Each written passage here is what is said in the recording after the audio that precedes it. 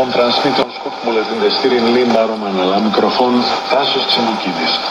Πριν Μινίστρου Αλέξης Τσίπρας Απριμίτ ε, Ζωή Πριν Τελεφόν Φελιτσιτάρι που πριλέζουν Τρελουάρι Νόιλορ. Σάλε Ατριμπούτσι Γουβερναμεντάλε Την Πάρτια Πρεσεδίντα Λουιστά Τελορουνίτε Μπαράκ Ομπάμα Τσιεντοί Πολιτισιένη Αο Αμπορτάτσι Εβολούτσι Λελεγκάτε Τε Προβλέμα Φλούξου Λουι Μιγκρατόρ Πρεσεδίντε Λε Ομπάμα Σε Εξπριμάτ Σπεράντσα economică.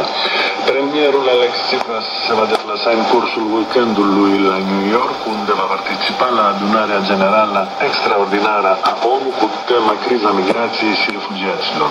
Pe marginea lucrărilor Națiunilor Unite, prim-ministrul se va întâlni cu Barack Obama, se va avea o întâlnire și cu secretarul de stat american John Kerry. Lista cu premisele care, dacă vor fi implementate, va deschide calea pentru eliberarea transei de 3 miliarde de euro au fost dezbatute azi la reuniunea Euroworking Group. Implementarea măsurilor va permite revenirea quartetului la Atena pentru prima evaluare. Ministerul de Finanțe a ținut să dea asigurare că schimbarea sistemului fiscal nu va aduce noi taxe cetățenilor